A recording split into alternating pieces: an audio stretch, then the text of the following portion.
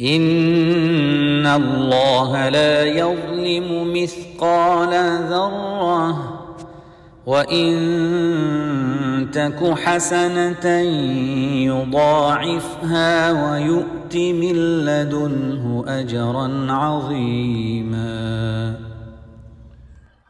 السلام عليكم ورحمة الله وبركاته. بسم الله والحمد لله والصلاة والسلام على رسول الله. اللهم علمنا ما ينفعنا وانفعنا بما علمتنا وزدنا علما يا أرحم الراحمين We ask Allah Azza wa Jal teach us what benefit us, benefit us from what He taught us and increase us in knowledge. My dear beloved respected brothers and sisters I ask Allah Azza wa Jal to protect you from any harm. Ameen Ya Rabbil Alameen. One of the signs of success in this dunya is when you own your own house, when you have your own home. And many of us, it takes them years and years to own their home. And these houses in dunya, they can be destroy, destroyed by any natural disaster, whether it's an earthquake, flood, hurricane, tornado. And the houses in the dunya, they have sewage flowing under them. How about a house in Jannah every day? A mansion in Jannah every day. One brick of gold and one brick of silver. In this dunya, people compete who designed my, my home, right? The house in Jannah is designed, designed by the one himself, by Allah subhanahu wa ta'ala, Al Jamil himself, the all beautiful himself, Allah Azza wa Jal. Allahu Akbar. How can we gain a mansion in Jannah every single day? Allahu Akbar. Listen, my brothers and sisters.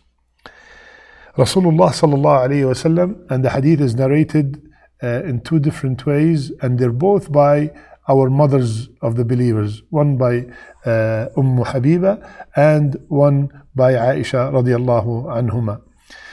Umm Habiba, and the hadith is in Sahih Muslim, she said that Rasulullah sallallahu alayhi wasallam said, there is no Muslim who prays 12 rak'ah to Allah each day voluntarily apart from the obligatory prayers, but Allah will build him a house in Jannah.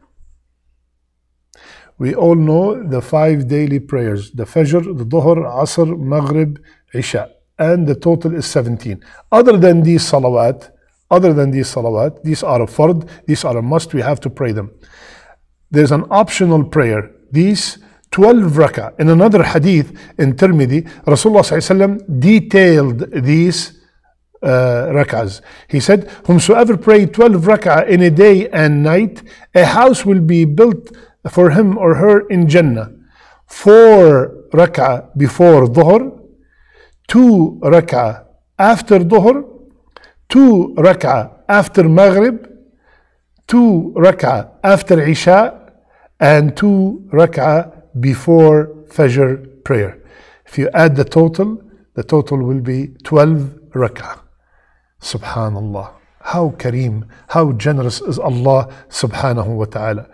Rasulullah sallallahu told us that on the day of judgment, Allah subhanahu wa ta'ala will say, Look at the prayer of my servant and see whether it's perfect or not. If it is perfect, it will be recorded perfect. And if it's imperfect, Allah subhanahu wa ta'ala would say, See if my abd have some optional ibadat, some optional uh, salat.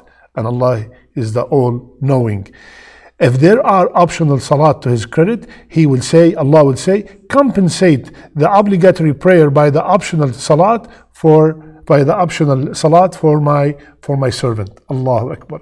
So we all have some uh, shortcomings in our salat. So if we have these optional salawat, inshaAllah ta'ala, they will come and covers cover the shortcomings that we did in, in our fard salat.